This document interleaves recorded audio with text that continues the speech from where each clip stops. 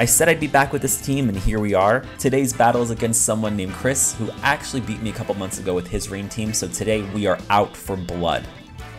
His team's pretty balanced, some good offensive threats as well as some good defensive walls. I'm going in with my Panini because it's just pressing everything with body press, along with my Iron Moth, Chandelure, a couple other favorites. Ogerpon has been a very prominent force to be reckoned with in OU. Definitely can't underestimate that there, but we're going to jump right in because this battle is very, very fun and has a lot of layers to it, so let's just get right to it.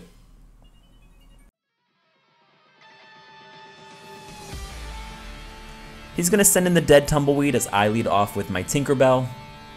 I want to go for the sticky webs here. I want to abuse the crap out of that. That's the point of this team. But with the Cinderace in the back, I can't do that. I don't have a spinner or a defogger. I've been court changed before on Showdown with sticky webs, and it does not look good for my team. So I end up going for the Bug Buzz. It does a ton as he fires back with Poltergeist, hitting me down to my sash, and I'm in a, a pretty tricky situation here. I could stay in. Sometimes Brambles go for Shadow Sneak, but they also have access to Spikes too. So if he does go for Spikes, I can't switch Ribombee back in. So I just go for Bug Buzz, and he ends up not going for Shadow Sneak, and I take this thing out right away. Very happy about that. Brambles are a little bit of a slept on threat. They're kind of unpredictable, and using it as a lead, you don't know what they're going to do. So now he's going to go into Cinderace as expected. He could U-turn here, which is most likely the case. He could also Pyro Ball. I'd rather keep Tinkerbell in my back pocket just in case I'm able to take down Cinderace at some point in this game. Now I'm going to switch into my Sia as it's swinging from the Chandelier, or the Chandelure. Horrible joke. Uh, I want to activate the Flash Fire just in case he decides to go for Pyro and he's going to U-turn, which is the smart play. So good on him, because now he can switch into whatever he wants. Probably going to be the Samurott, which has full reign to go for whatever it needs to uh, go for, whether it's Razor Shell or Ceaseless Edge. He'll probably Ceaseless Edge just to get the spikes up. Either way, I gotta run because this is a bad matchup for me. And uh, the best move going forward really is the Zamazenta. I'm gonna just bring in my dog because this thing is so beefy that it just puts everything to shame. Such a huge threat. I'm so surprised that it's allowed in OU, but uh, if it's if it's legal, I'm gonna use it, and uh, it's a huge defensive threat, so might as well. He's actually gonna Sucker Punch here, and um, that's fine because I don't take any damage at all, and I get the defense boost. So I'm predicting here that he's gonna switch into his Starbucks matcha here, so I just click Crunch. And thankfully, I'm right about that. I'm gonna take a bite out of this cup, and it's going to do about a fourth, a fifth of damage. Not a whole lot, but I do get the defense drop. Now this is a little risky situation to be in. Sinistcha just bodied that crunch. It's at minus one. I could go for another one, which I'm gonna do just to see, but it has access to moves like Scald, Matcha Gotcha, Strength Sap, so I could be putting myself at a disadvantage. He's now going to Tera and obviously not looking good for me. It's Tera Fairy, but not the end of the world, because this Zama might be your average Zama from, from first glance, but I promise you it's not. I go for Crunch, it doesn't do anything of course, he's gonna Matcha Gotcha, I just need to cross my fingers that I don't get burned. Thankfully I don't, and now it's time to show the world why Dunkin' is better than Starbucks. That's actually a blatant lie, but regardless, I, I really hate matcha. So we're gonna put an end to this cup of dirt, and you'll see why in just a second, because this is not your average Zama. I'm going to click Tera Steel here and go for the Heavy Slam. Probably my favorite change that I made on the Zamazenta set. I used to run Stone Edge, from mons like Moltres and Zapdos, but making this change to Heavy Slam actually really counters back mons like Iron Valiant, and when, uh, you know, in situations like this when your opponent decides to go Tera Fairy. Heavy Slam's gonna come through, and we're going to pour this matcha down the drain. Zamazenta came through in an unimaginable way. I actually, you know what, whenever there are UU Mons in OU teams, I'm more afraid of those Mons because you never know what they're capable of, and Sinistcha has access to so many different things that can just cripple your team. Uh, it was a huge threat, it had to go. Cinderace comes out now, no surprise there. And quite honestly, I'm not afraid of this thing at all. Yeah, it has Pyro Ball, but I'm faster and I can set up another Iron Defense if I want. I'm already at plus one, and being at plus three puts me at a huge advantage. Pyro Ball, I don't even think would be a two-hit KO.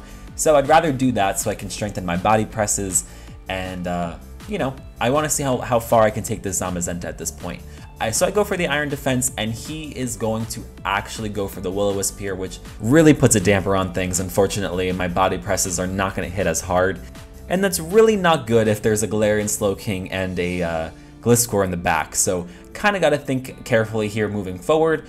I can always Iron Defense up just to get my damage up a little bit more on the body press. Heavy Slam and Crunch won't do as much though, unfortunately.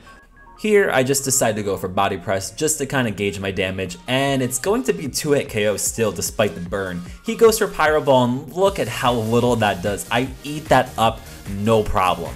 This is why Zama is actually a huge problem in OU, uh, but it's still somehow legal. Um, there are a lot of ways around it though, um, not gonna lie. It's just really, really good if you start snowballing with it. But because I am burned, it's just not going to be good in the long run. So yeah, he does make the switch into Gliscor to hard counter my body press. It still does a tiny chunk. Uh, in the grand scheme of things, it's not going to be sustainable because Gliscor does have the Toxic Orb, um, as most Gliscors do. So I'm gonna have to run here. Uh, unfortunately, Zama isn't going to be uh, as useful now that it's burned, but it did put in work. I got rid of its Tera right away. So I'm going to switch out here. I'm going to go into my um, Tinkerbell as Death Fodder just in case he decides to attack here. He reveals that he's actually a Swords Dance Gliscor. Uh, kind of interesting, I don't really see those a whole lot, but they can be very, very threatening if paired with agility, so I have to act quickly. I'm just gonna go for the Moonblast now, and hopefully it does a ton, and it ends up doing a huge chunk of damage. This little, like, mosquito literally just annihilated this Gliscor, so I'm not worried about this at all because even if he is max speed, I have other mons that do outspeed it, so now it's just time to bring in Ogerpon. I could also go into my Iron Moth, but I just figured with the Hisuian Samurott there, I'd rather just go into Ogerpon because I have Water Absorb. And now all that's really left for me to do with this is really just click Ivy Cudgel mindlessly at this point.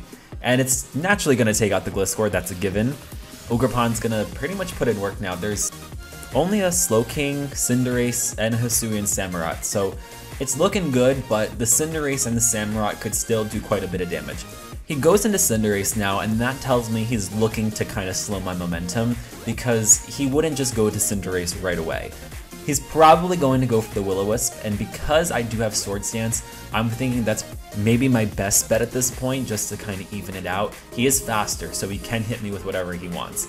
He does go for the Will-O-Wisp, it is going to hit, and um, Swords Dance will kind of, I think, yeah, I think Swords Dance does pretty much even out a Will-O-Wisp. So now I'm kind of back to where I where I need to be. He can't further lower my attack, so he's gonna have to hit me now problem, I definitely take Pyro Ball or U-Turn to the face just fine. I'm just to go for Ivy Cudgel at this point because it's to do a ton of damage regardless, so whatever comes in. Or if he decides to stay in with Cinderace, that too. Cinderace does stay in, but he actually misses the Pyro Ball. Little unfortunate there. I go for Ivy Cudgel. It does finish off Cinderace. I would have been able to survive it no problem. So, you know, that's not really a question of if I held on or not. But it does suck because he doesn't he doesn't weaken me here. Now he's gonna bring in Samurott, and if it has Focus Sash, he pretty much could end me off here. If he, has like Sacred Sword or Ceaseless Edge, it'll probably do a ton. Um, I'm gonna click Play Rough, and it's gonna come through and do a ton of damage. And he's gonna go for the Ceaseless Edge, and unfortunately that misses too. Quite honestly, if he had taken me down between the Pyro Ball and the Samurott, it really wouldn't have mattered. Uh, I do have my Choice Spec Chandelure, which is a two-hit guaranteed KO on the uh, Galarian Slowking. I have my Iron Moth, which would outsped the Samurott. Uh, I have Dazzling Gleam on it and also Fiery Dance, so it would have been just fine regardless. Uh, so that's pretty much game. It just sucks because he didn't take down the Ogerpon, but I don't think it mattered. But yeah, now he's just going to go on to Slowking here. Again, just going to click uh, Ivy Cudgel, see how much it does. It should do, yeah, it's gonna be a 2 KO. I see he goes for Future Sight. He does not have an attacking move like Sludge Bomb, so that's gonna be game there. So Chris, it's been a pleasure battling you yet again. You're a talented battler, you make great teams, and uh, hopefully we can battle again some other time. Guys, thank you so much for watching this video. I really appreciate it. If you liked it, feel free to give it a thumbs up. You can subscribe to my channel, and uh, I will see you all on the next one.